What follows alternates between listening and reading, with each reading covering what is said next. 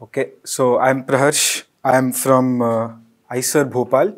I'm currently pursuing my master's thesis. I'm in my fifth year, and um, I'm interested in causal inference as a topic. And I'm talking about, I'm going to talk about causal discovery and network science. So let's get started. So, how many of you know what causality or causal inference is? Do you have any guesses? What can it be?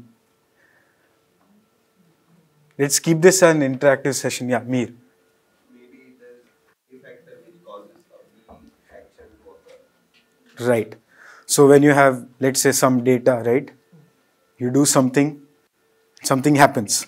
But do you know that it's occurring because of that thing? You're often not sure about that, right? So whenever we look at various models, we look at uh, features that have high correlation, right? Two things occurring together. For example, if I walk out into the garden and I have two features recorded, suppose it's raining and my umbrella is open. Now, when we look at correlation, we can see that these two are occurring together, but we don't know which is happening because of which by only looking at the data. Since we are all humans, we have our own perceptions, right? So we know that since it's raining, we are opening our umbrellas, right?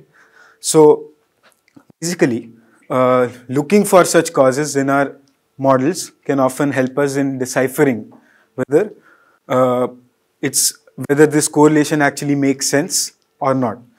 So yeah, so let's get uh, started. So what is causal inference? Basically, it is the process of inferring the effects of any treatment, policy, intervention, etc. Right?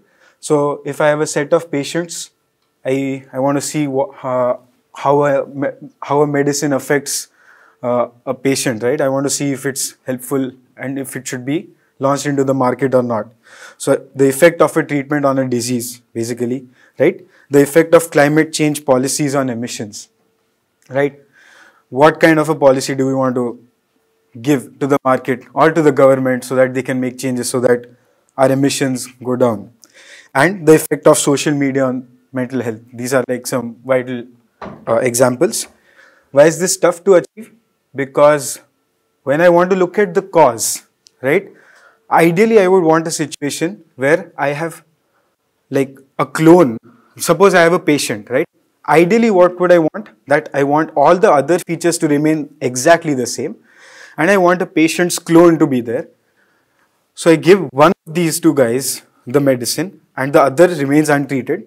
The exact difference between these two models is what the cause would be, right?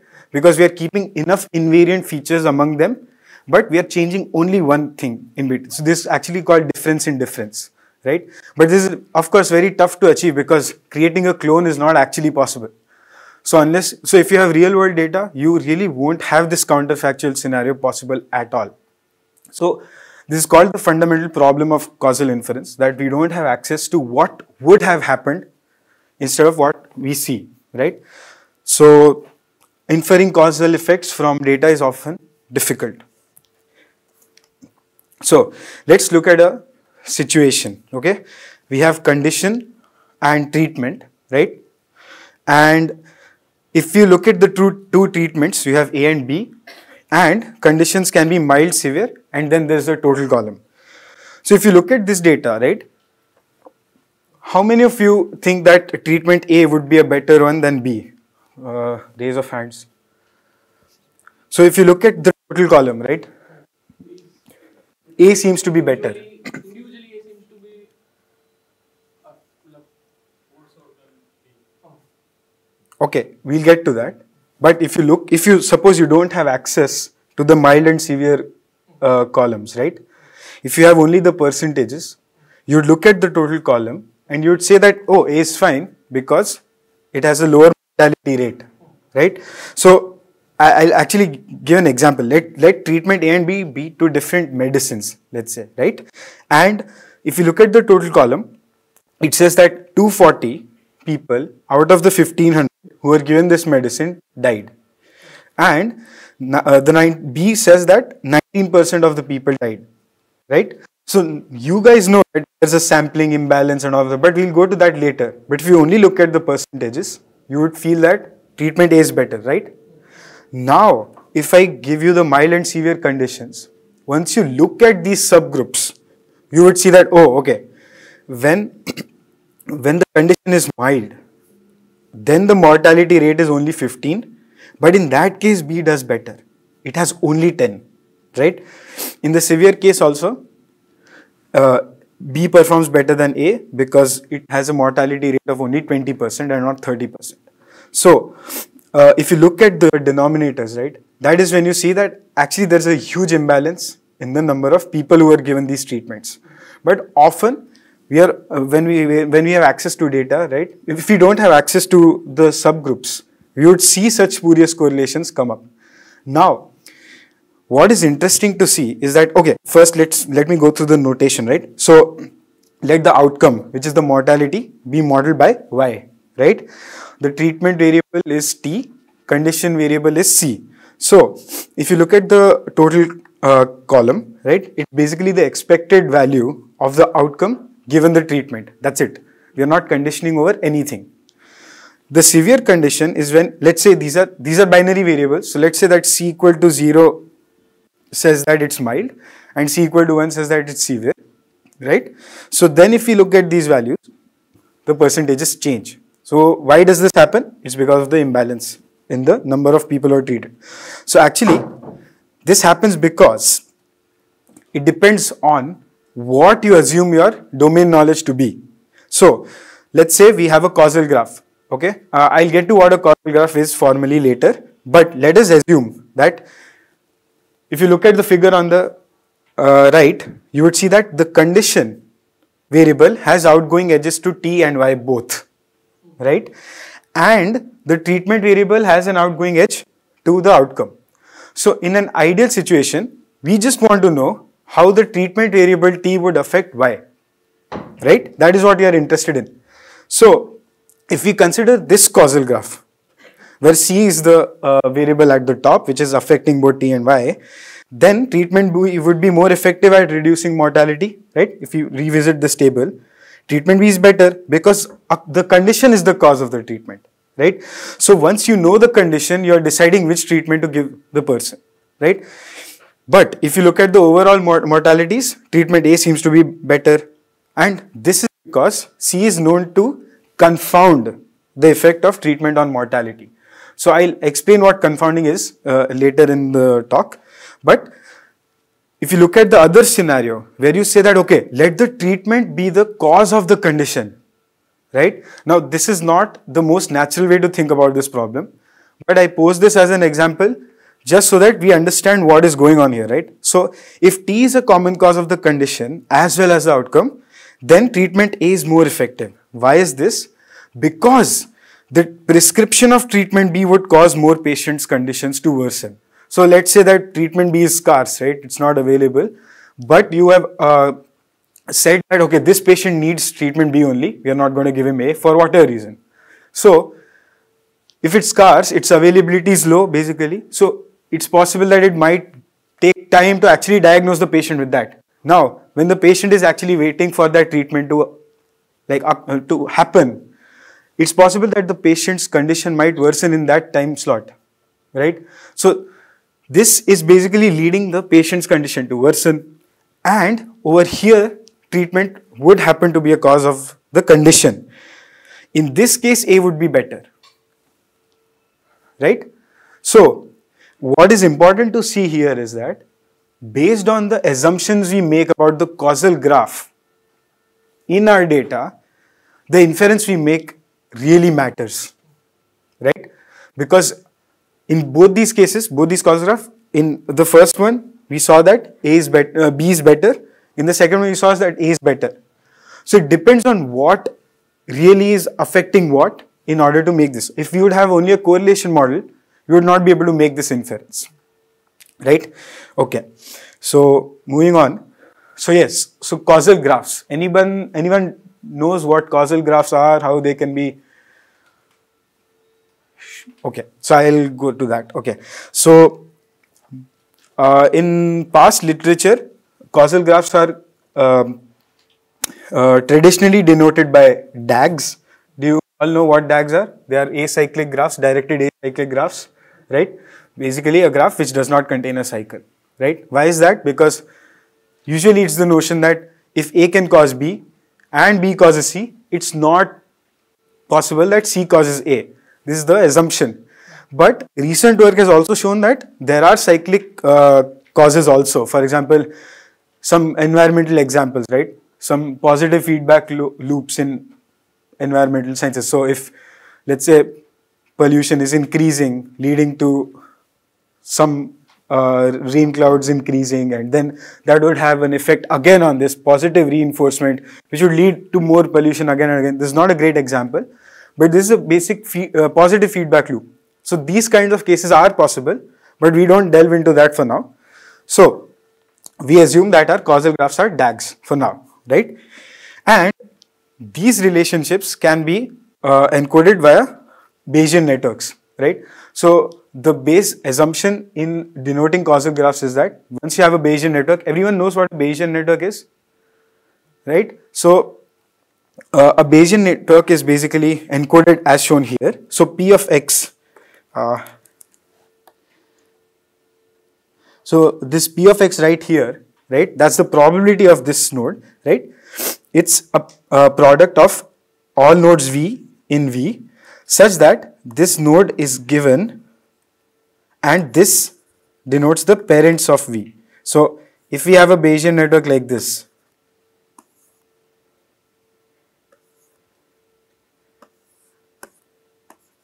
right? So this node right here, let's call it A, this will be conditionally independent to all other nodes in the graph once its parents uh, P and N are given. Okay, this is like an assumption. So then once you can conditionally uh, give this, uh, once you can get the marginal distribution for each node, then you can work around with causes in a better and more concise manner. I'll get to how uh, in, in a bit. Okay. So I just showed you that correlation does not imply causation, but this you have heard everywhere. But the main question is what does, right? We don't know that yet. Okay. So let's look at the effect of confounders. Uh, I talked about this in the previous slide, right, where we saw two different graphs. So, okay. So let's say that the study comes out in the newspaper which says that people who sleep with their shoes on, they get headaches in the morning. So you get lots of articles saying that, oh, you should remove your shoes before you go to sleep.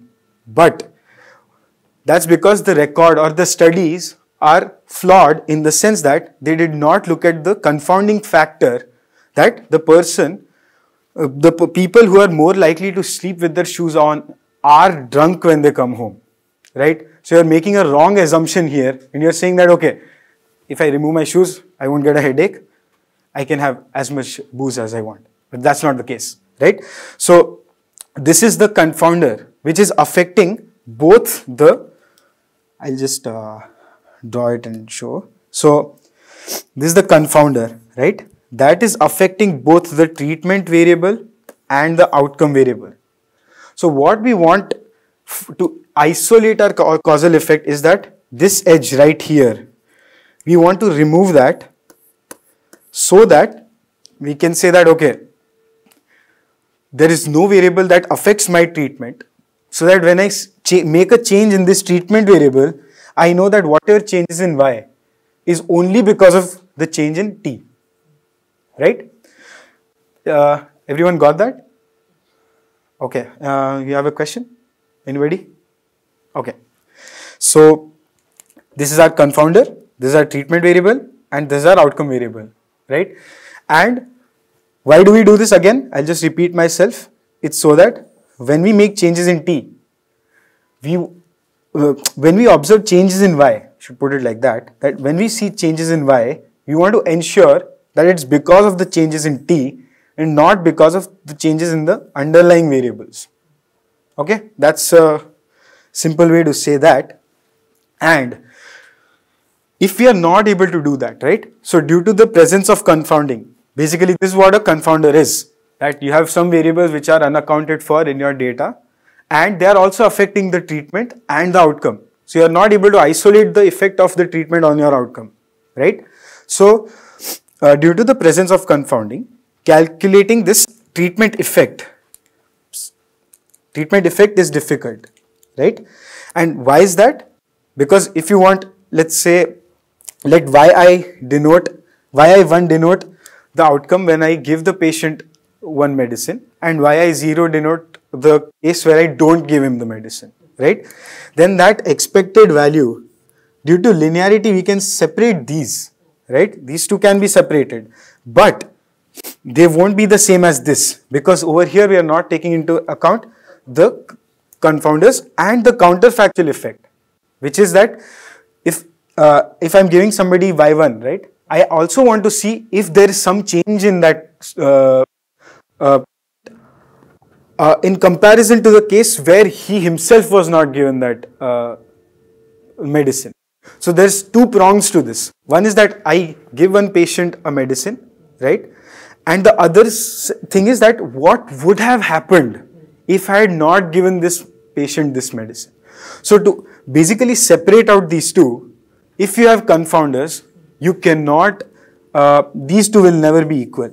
So we need to make some assumption about the data or we need to do some sort of um, testing to see uh, some other testing to see that to, to basically e equalize this guy and this guy. Okay. And why is this? This is because all ca causal quantities are not statistically identifiable. What does this mean? This is like uh, this. Uh, so identifiability means that when you can estimate a causal quantity using a statistical equation, right? Because if you look at causal quantities that are not identifiable, they are basically, you can't calculate them because you don't have access to counterfactual scenarios. Okay. So I'll also get that, you get to that in a bit. So this uh, a meme where I offer you a trade where I get your attention, but maybe you have a headache, but is it because of the talk or is it because of what you had? I don't know. Okay, so we use statistical tests for conditional independence. Why do we want conditional independence? Any guesses? Sorry? Yes. Why can we disregard the confounding? So, if it's independent, you're absolutely right. Since it's independent, we can remove the edge between the confounder and the treatment basically if you look at it from a graph point of view right so you are basically separating the two my co so if your c if your confounders are a set let's say x of covariates right these are called covariates right so if your covariates don't affect t then only can you say that okay my treatment effect is isolated. So let's say you all are a set of patients, right? And I'm a doctor and I want to give you guys some medicine, right? Now, the thing is, since I don't have access to counterfactual scenarios, what is the best thing I can do? I can divide you guys into two groups. One group I give medicine and the other I don't. The problem with this approach is that within these groups, there might be some underlying bias, which I don't know. For example, it's possible that people on this side of uh, uh, the room are older in age than this side. I would not know that while doing sampling. So what I try to do is I close my own eyes and I randomly just pick someone for treatment and some without it. So this is like a random randomized control trial, right? So what I do is uh, I try to do this randomly so that I can separate out the underlying, I can separate out the groups and I can also do it while not creating any underlying bias. Make sense? Okay, uh, cool. So, okay, uh, before we jump into that, yeah, so now uh, we use, so yeah, so we use statistical tests for conditional independence to test whether there is any kind of relationship between C and T. So by doing such probabilistic invariance tests, we can find out if uh, T is dependent on C or not. And if no dependence is found, that is, if we can see that T and C are basically statistically independent, then the faithfulness condition tells us that there is no causal relationship, right? Because that's how our causal graphs are modeled, and we can remove this edge. Once we remove this edge, life for us is easy. Okay, after this, making changes to the treatment variable will affect in some changes in the outcome variable, and we can say, okay, this is the reason it happened. I'm sure of this. End of story. Because my covariates are staying constant.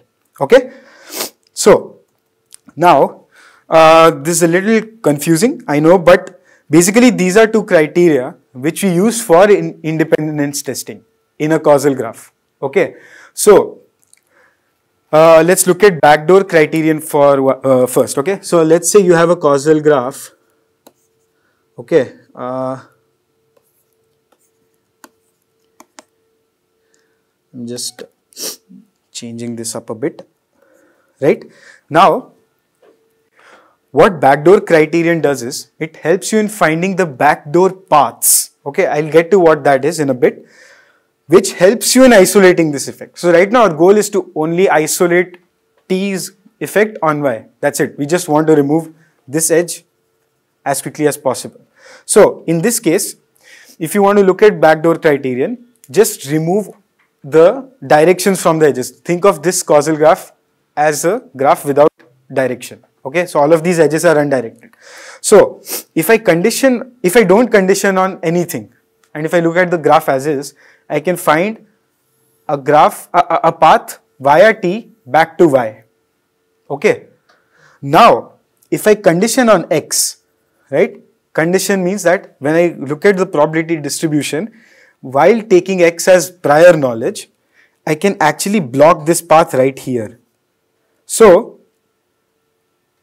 basically blocking such paths helps me in asserting independence. I, know it's a little confusing. I'll get to I'll get to how it's done, uh, but this is uh, this is how it's done. So yeah, okay. So let's say uh, I I don't know how to I don't have a good big example in mind, but let's say I have a big causal graph, right? And basically you do see that if I remove the direction of the edges from the causal graph, then it's just a correlation graph right? Because if two guys are connected, then they're correlated. That's it. We don't claim anything else. So, if you're able to go from the treatment variable to the outcome variable through another path, right? Then that means that, okay, they are also correlated, right? Because through some other variable, uh, it's showing some effect which you want to nullify. So, by conditioning on so let's say some if you have a situation like this i think uh, this would suffice as an example right? This is y right? And you have x1 and let's say you have x2 x3 okay?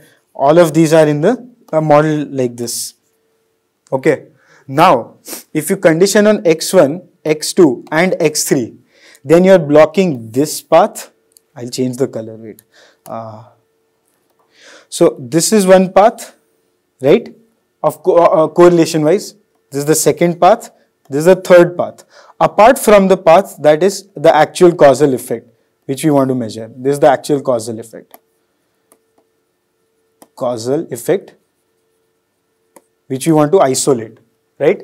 So now, if we condition on this node, this node, and this node, we are taking it as given information so then it won't show up in correlation.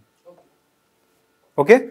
So once we have identified all such nodes, so the backdoor criterion helps us in identifying all such nodes on which if we condition, then we'll be able to isolate this causal effect. Is it clear? Please feel free to stop me and ask questions, okay? Uh, by Yeah. condition, what do you exactly? Sorry? Um, by, what do you mean by condition? Yeah, okay. It's basically the so right now you have a pro joint probability distribution, right? P of x, t, and all those variables, and they give you this outcome probability, right? Uh, or expected value of y. Now, if you condition on these, so let's say if you do this P of t given x1, x2, x3, this is the conditioning I'm talking about. So if you condition on these variables, you are actually blocking those paths from a structural point of view. That's it. And if you do this, right, then you'll get your independence also. Because we are doing an invariance test. what does invariance mean? That even if I, yeah, what invariance means is that if these are conditionally independent, then if I make changes in, if I make changes to t, y will be, uh, y will be invariant to all other changes except for the ones which I do in t. That kind of a thing. Uh, am I clear or no? Okay. Maybe I can explain it to you later on. And for now, I'll just go ahead with the definition. And if you have a question again, just please stop me. Okay. Uh, so basically, this backdoor criterion says that given an ordered pair of variables x and y in a directed acyclic graph G, right, of variable z. So we are already down to z. We have a set x of covariates. We don't need to condition on all of these sets because then we would be expecting too much domain knowledge. Okay, I'll get to that. Uh, I'll get to that later. Let's just say that there's a set x, okay, and we want to find the minimal set z on which we can condition to isolate t causing y. Okay, so to find this subset z is our goal. So backdoor criterion is basically says that so if no node in z is a descendant of x and z blocks every path between x and y that contains an arrow into x then that path is called a backdoor path. Okay? This definition is involved. Okay? It takes some time to understand. But let's just assume that uh, you basically are finding the backdoor path. To just look at all the spurious correlations that are happening in your correlation graph. Okay and what d-separation does is, so once you have all these backdoor paths, right, you know that, okay, these are these many correlation paths that exist. Now I want to block them.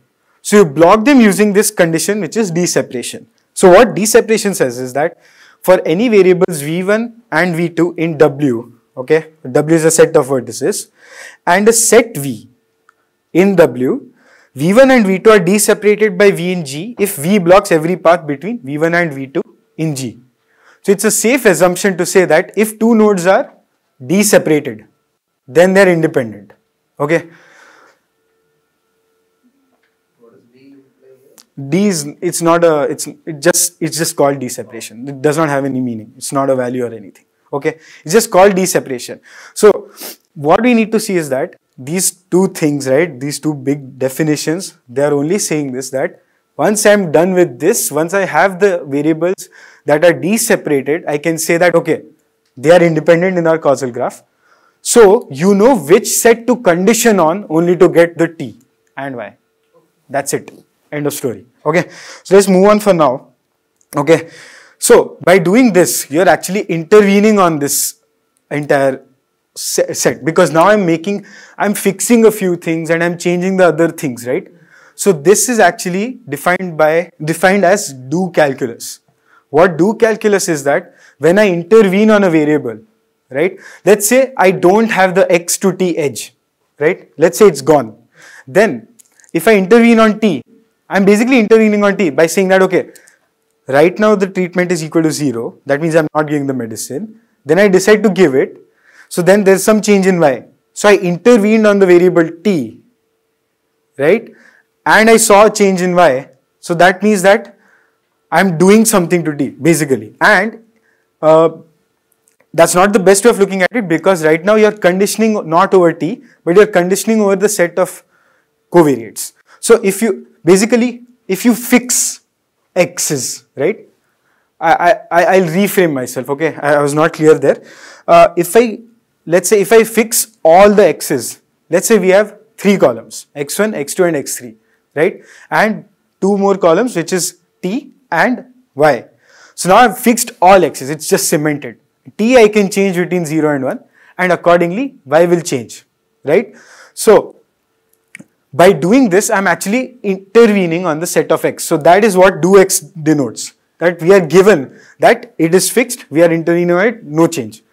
And then if we look at the probability of y and z, z is because we need that set which we got on which we need to condition, right, which is a subset of the original x's. Okay, so then that probability would be equal to probability of y, z and x given x divided by only those uh, only taking z as the given part So you don't need to condition on the entire set X. Uh, okay, Z is basically a subset of X on which if you condition, then you are isolating the, yeah, you're d-separating, perfect. So the set of, the set Z can be equal to X, it can, but it need not be, okay. Uh, I'll just move on for now, okay. And I'll tell you how these are modeled. I think if I give an example, it'll be better, okay. And maybe we can revisit this uh, later, okay. So basically now these models are they're actually viewed or the, they're encoded in Bayesian networks, but they can be understood using structural equation models. Okay, so structural equation models are basically those models that explain relationships between these measured variables and latent variables. Okay, that's terminology, but what latent variable means is basically confounders. Okay, it's the same meaning. So, and relationship between those latent variables. So usually this is like a very, very big assumption that we know everything about, we have global knowledge that okay, this is the hidden confounder, not connected, it relates this way to another hidden confounder. No, we're not, it's like a very, very elaborate relationship which we often don't have access to in our uh, in, in our data, okay? But basically structural equation models use this assumption that you know everything, you have global knowledge and then they make this equation to model your causal effect. Uh, yeah, and uh, it's actually impossible to take care of all, all latent variables in your data because let's say that you have data about this clinical trials, right? That I have these two groups, I'm giving medicine, one I'm not. The movement of the sun, the time of the day, all of that is also a variable that might affect our data. But to record all such things, right? What is the flow of the river Sabarmati right now when I'm giving this guy this medicine? Right? That is also a latent variable. But it might not be relevant to our case, so hence we choose to ignore it. But that's because of our domain knowledge, right? So what these structural equation models assume, right, is that you have perfect knowledge about everything, right? Okay, so structural equation models are for statistical quantities. So like likewise, they model it to structural causal models, right, which consist of a set of endogenous and a set of exogenous variables connected by a set of functions f that determine the values of the variables in V based on the valuables of the variables in U. Okay. So I'll explain this, okay. So firstly you have a structural causal model, SCM, right, that consists of a set of endogenous. What does endogenous mean? Is the variables in our data, which we see in, uh, in front of us okay? And exogenous variables are those which are which might be affecting our data but we don't know about them. So we have we don't have them recorded in our data set but they might be affecting our variables. Okay? We don't know. The, the hidden latent variables. Okay? And uh, they are connected by some functions f which are known. Okay? So even though we don't know exactly what those variables are there might be a set of functions through which we can relate them okay? And those determine the values of the variables in v. What was v? V was the set of endogenous variables based on the values of the variables in u right? This is like a simple thing which says that we don't know what these u variables are exactly but we have some functions which can tell us that okay this is the effect then we are good to go because we are assuming global knowledge. So we are just acknowledging the fact that okay we have recorded information about V, but we don't have recorded information about U, but we know about how U affects V. So we are good to go. That's it. That is all. There's nothing new. Okay. So if we think of a DAG as representing the flow of information or the flow of the cause, right? Then the variables U are the inputs to the system, while the variable V uh, variables V are the nodes where that information is processed basically. Okay, this is a, not a great way of saying it, but I think you know that now basically your set of covariates, entire set of covariates would be made up of U and V. If U and V are two mutually exclusive sets they would add up to make your covariates. Okay.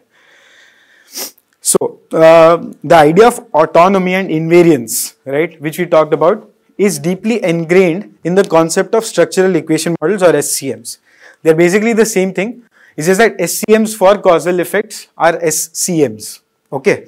And we prefer this Latin term because the term SCM has been used in a number of contexts where the structural assignments are used as algebraic equations also rather than assignments. So it's just a way of saying that we prefer to use SCM. We prefer to use SCM instead of SEM just because uh, it's a causal context. Okay, that's it. Okay, so now I come to where this all comes together. Okay, it's called semi-Markov models, and these are causal graphs in which you can simply encode your information about un underlying variables and your recorded variables. So, a semi-Markovian causal model M is a tuple. Okay, V, V is the set of endogenous the ones which you can see is the set of observed variables okay so so your x right? It can be some set of uh, observed variables o1 o2 you know what x is right? X is the set of covariates right? The confounders okay? So o1 o2 o3 and let's say go to on and then x also contains uh, uh, unobserved variables u1, u2, u3 up to um. Okay. So we have information, let's say we have a tabular data set, then we have all information about O1 to On. Correct? Okay. And then we have some m variables which we don't have in our data which are also affecting the same thing. So V is the set of such observed variables, right? And U is the set of unobserved features right? So both of these it, it, they denote it as XO, this paper denotes it as XO and XU, right? So these add up to the entire set. So if you look at the definition of U, it's actually V minus W, uh, W minus V, where W is the entire set of vertices, okay? Cool. And G is the DAG over the set of vertices W such that each member in U has no parents and at most two children. Okay, so how do I explain this? Uh, okay, so basically we have a DAG, right, which look tells us all the causal relationships in our data set. Now, uh, no parents is understandable. Why at most two children? Yeah, so at most two is only because if it's affecting more than that, then you are uh,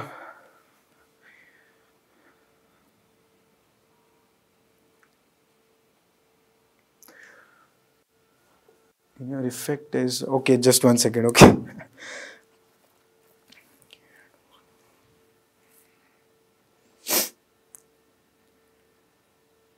okay I, I don't remember right now. That's a really good question. I'll look it up okay? Uh, why two children? Okay but yeah I'll, I'll skip that for now. Please remind me to get back to you okay? And then we have this uh, encoding of the parent variables for each and every child. So if, when we looked at Bayesian networks, right, the, we saw that each and every node in the causal graph can be encoded by its parents. Yeah. Right? You remember that? So once you uh, condition over the parents, it will be independent to all of the nodes. Okay? So this is basically the joint distribution of a node given its observed parents and unobserved parents okay and pu is basically the prior joint distribution of the unobserved variables okay so uh, so Poojan I still I am not able to recall the answer to your question but at least I should raise this here that in a semi-Markovian model unobserved variables with only one or no children are omitted why is that maybe your answer would also lie within that so Unobserved variables with no children are omitted? Yes, because they don't affect our causal graph in any way. We don't want. The flow of Sabarmati river, we are not interested in. Fine, let it flow. We don't care. We It does not affect uh, how I should give a treatment to a patient. Okay, so that's why we remove that. One variable, why do we do that? Because if it's causally affected, affecting only one node, then that node itself is taking in all the information that is required from the causal effect coming from the confounder right? So we remove that. But yeah, exactly, we can merge them the together. redundancy in the graph. Exactly, it's redundant. Perfect, we can merge it. And also, I think uh, this two children thing, if it has more than two children, you can make an equivalent graph where it has two children. Maybe that helps in something. Yeah, so I'm not able to think of what it might help in because if it's still a confounder and if it's affecting more than two things, I don't see why that would be a problem. Or maybe it's an assumption just so that you can calculate backdoor criteria easily. But I, I, I need to check up on that. I'm not sure of that. Okay. Uh, so yeah, very sorry for that. But so do you guys uh, understand what this is entailing? Right? Okay. Uh, okay, so apparently this doesn't work for you guys since you got it already. But I'll give you guys an example, right? Uh, this is our semi-Markovian model. Okay, so the variables uh, named with u and some subscript i, right? They are the latent variables. They are the unobserved variables. And t is the treatment, y is the outcome. This is an obser- unobserved variable, unobserved variable, unobserved variable, and unobserved variable. So, oh, I think I uh, just give me two. I think the reason there are not more than two children is that. Uh,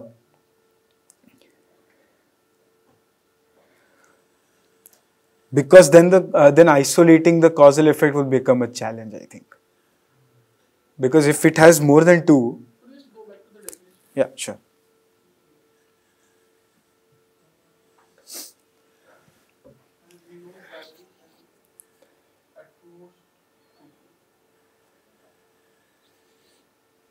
Okay we will get to that later. I'll just get done with all my material and we can talk after this right? So yeah so this is how it's encoded and then you can simply show it like this right?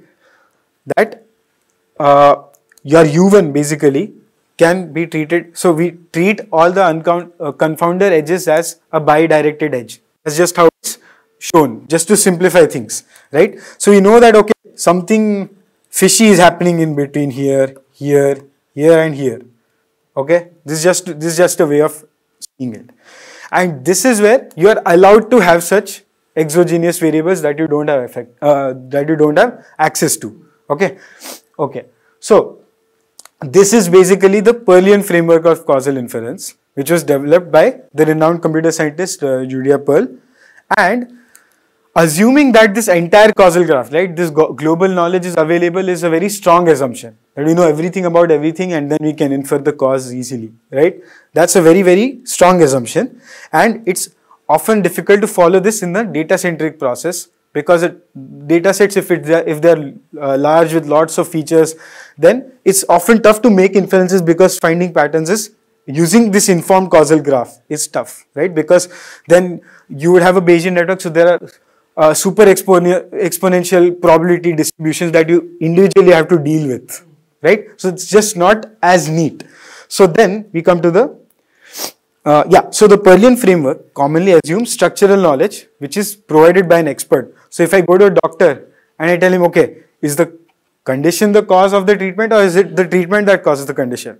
He'll, uh, that doctor, he or she will be easily able to tell me that, okay, this is the cause and according to that I can model. So that is what the Pearlian frameworks Pearlian framework needs to assume, right?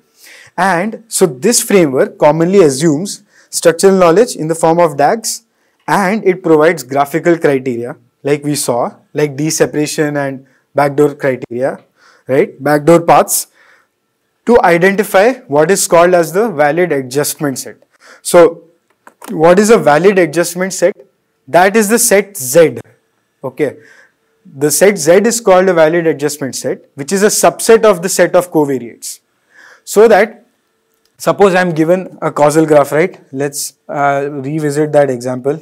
Sorry for bringing it up again and again. Right? In this case, if I condition on x1, x2 and x3, right? Only then am I blocking all the backdoor paths. But suppose I have another variable x4, right? Which is not connected to t, it goes somewhere else, let's say.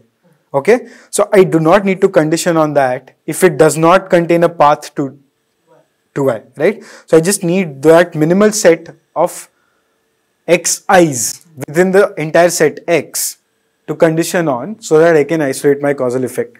So this minimal set is basically the set z.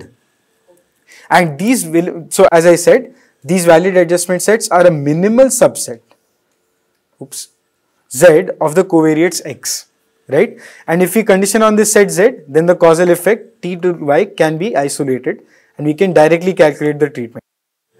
Okay, so this is what the Pearlian frame looks like. Now let's have a change of form, right? Now we look at potential outcomes framework. This is extremely common in the uh, in in machine learning literature. How, how well am I doing? Okay, so, okay. So what potential outcomes does is it looks at two scenarios again. If you take a pill and you feel fine, you're good to go. If you don't take a pill and you don't feel fine, then you are sure that okay, then the pill has an effect. If I'm feeling happy even after I took the pill, even if I don't take the pill, then it does not have any effect on me, right? So this is a potential outcomes framework. Choose between these guys. Okay, so this is what is so this framework is built on the ignorability assumption.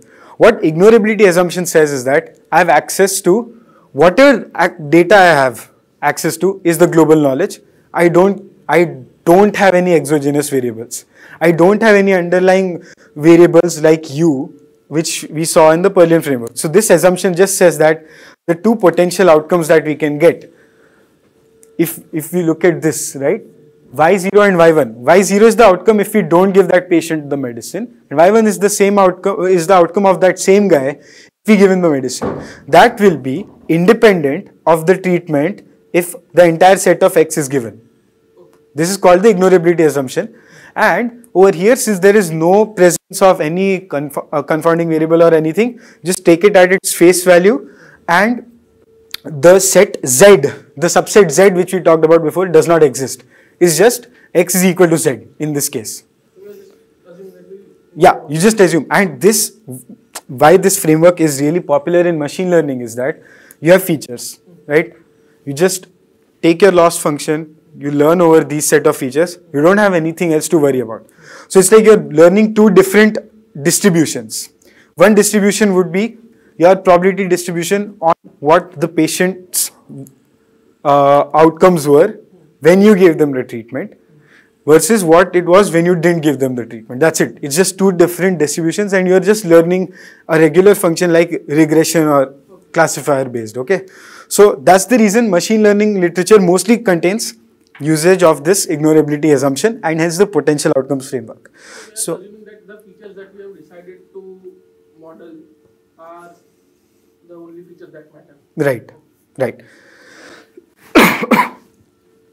so uh, then, so in this case also we have the same uh, observational data xi, wi, yi, right? Each patient i has let's say features blood sugar level and weight, right? These are in the d-dimensional space, d features right? This is a feature space basically. Two potential outcomes. Are you feeling fatigued or not? Right? And then treatment assignment. Should I give this guy a glucon D or not? Okay. And that can be entailed like this. So now we want to estimate the causal effect, but again, we don't have access to counterfactual data. So our causal uh, equation becomes simply this, which is just yi, which is equal to wi yi 1 right? And 1 minus wi into yi 0. Does any everyone see why that is? Because wi, if I choose it to be 1, then this guy will be 0, right? So then yi 1 that okay, when I give this treatment, because we won't have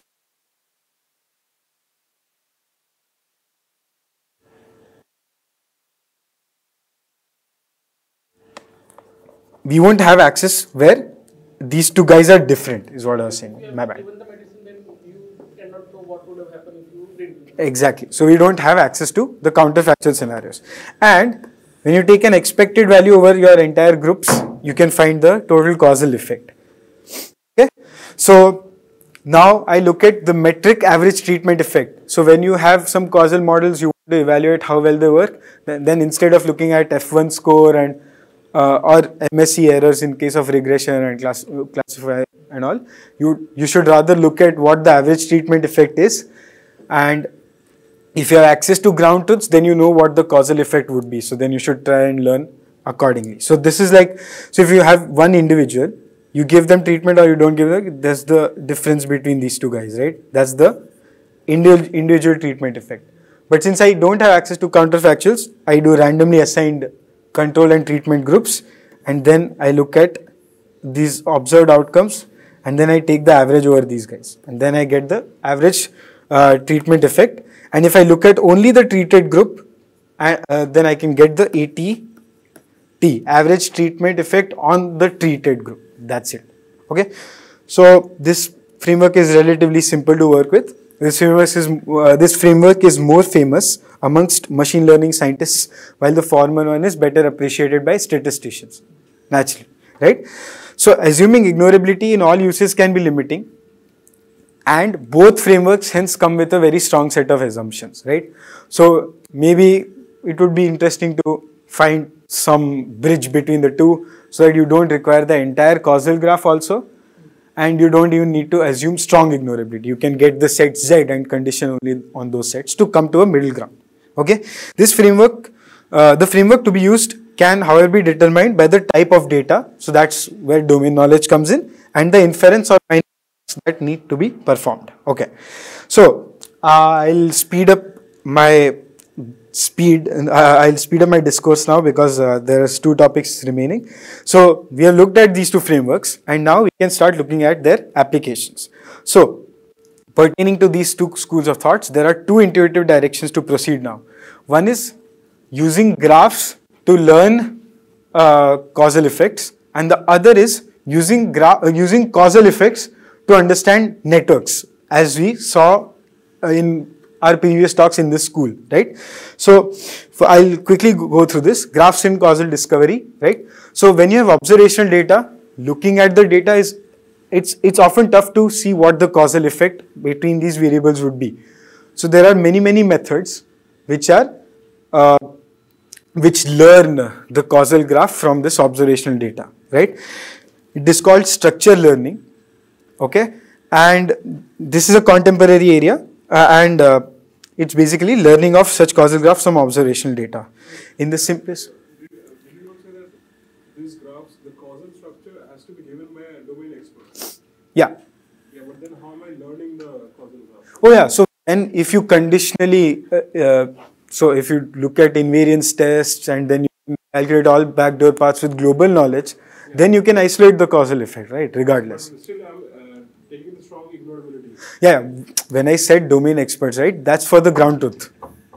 So that ground truth is not known in that sense, right? You need some some person from the field to tell you, okay, this is how it looks like, basically. But in most use cases, you yourself have some sort of an idea, so you can evaluate those graphs like that, or using the adjacency matrix or something like that. So it's just that for the access to ground truths, you would have to have manually annotated data. Did I answer your question? Yeah, so Manan, uh, basically, so uh, you have in this case where uh, you don't have a domain expert, you're just basically doing strong ignorability and uh, inferring based on conditional probability. Right, right. Yeah, yeah. That, that's, yeah. Okay. So in the simplest case, a Bayesian network is specified by an expert and is then used to perform inference. You're done. You just have the causal graph and you're done. In other applications, the task of defining the network is too complex for humans. Let's say you have too many variables, right? Then making a DAG from that is often tough. So, in many cases, the network structure and parameters of the local distributions must be learned from data, right? So, causal structure learning represents an unsupervised learning process. It's unsupervised. So, now you don't have access to the ground truth, right? That can be broadly classified into combinatorial optimization and continuous optimization, okay? So, what combinatorial optimization does is your uh, algorithm search for a boolean valued or a discrete valued adjacency matrix. Boolean because it's not weighted. And uh, discrete valued means that it's a weighted matrix. So your causal effect is also you're looking at the magnitude of the causal effect right? So and it captures the presence and absence of edges. And then you can run uh, algorithms to basically see that okay, this is what it looks like from the data, and you're done. There's no ground truth because it's unsupervised. And a more recent approach, uh, sorry, there's no labels. Uh, you have the ground truth through, do- domain experts, right? A more recent approach introduces the idea of continuous optimization that uses a real valued adjacency matrix which can be tackled by optimizers with an acyclicity constraint. So this is a very very cool approach where now you don't need to look at this super exponential space of DAGs and search that okay is this DAG entailing my probability distribution the best or is it this one? No, you don't have to worry about that. You have a continuous optimization thing where if you just run it you get the best uh, uh, maximal solution and you're done. However, this is a, an NP hard problem. So this all of these are heuristic methods. Yeah. Okay. So this is the paper which set the tone for continuous uh, uh, optimization for structural learning. It's by these four uh, authors who were at uh, Carnegie Mellon. Uh, this paper is, I think, from 2018. You should really go and check it out. It's really cool. So this is uh, where they introduced. Uh, they removed, as you can see, the resulting problem can be efficiently uh, solved by standard numerical algorithms and it avoids the com- combinatorial constraint entirely. How do they do this? They just ensure the acyclicity constraint in their adjacency matrix. So uh, they take the trace of the matrix and they exponentiate it and then uh, they just know that the trace should be zero because that counts the number of paths in your graph. That's it. Okay. So there are a lot of other methods based on that and uh, DAG, so the, this original paper is called DAG no tears, DAG with no Actually, oops. Uh, so all these other methods learn this through neural networks. They learn each and every edge and the adjacency matrix through uh, neural DAG learning. That's what it's called. Okay. So yeah, then we have types of structure learning. One is constraint based.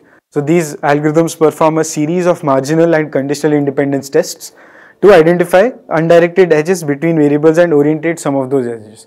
So this basically helps you find the causal graph, right? And score based where these algorithms rely only on heuristic search techniques, right? And there are also hybrid techniques which map the two.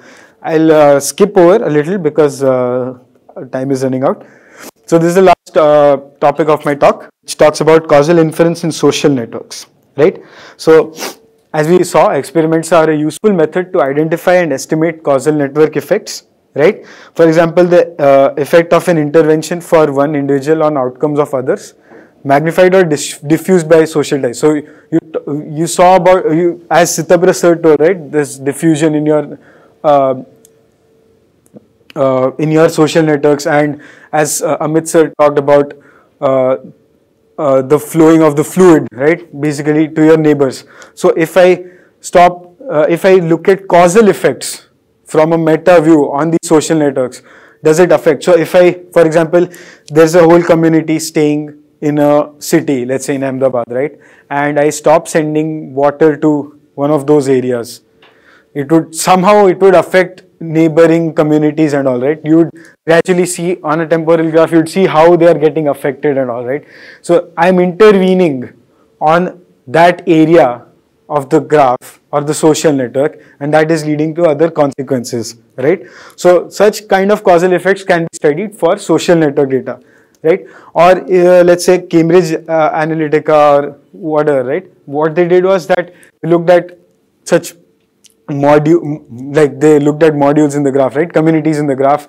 And then they sent them targeted ads because they had their causal model ready that okay if i look at let's say pujan and he's influential in his circle if i show him this targeted ad it's very pos- it's possible that he'll send it to others. So this is actually there is it's causal inspired it's causality inspired but it's not directly modeled right?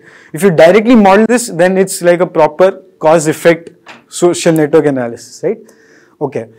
So the effects of interventions can be roughly divided into network effects and effects on networks, as I just said, right? Network effects concern how an intervention on one person, on Pujan, may affect not only uh, his or her own outcome, but also the outcome of, let's say, Mano Prakash and Sherin, right? But also the outcomes of, uh, yeah, and the effects on networks concern how an intervention may alter the structure of the network itself.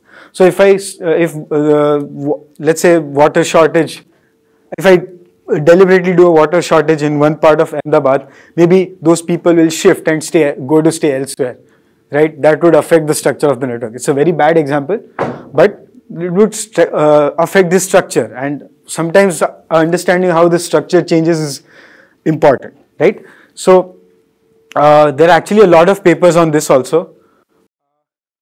So there is one paper which looks at estimating causal effects and they look at how this flow goes, right? They encode how the diffusion process occurs across this. And similarly, there are enough, and interestingly, these are all sociological research papers. So you can see a lot of applications in clinical psychology and sociology, right? And estimating average causal under interference between units. So between communities, you can look at how differently they interact after you do an intervention.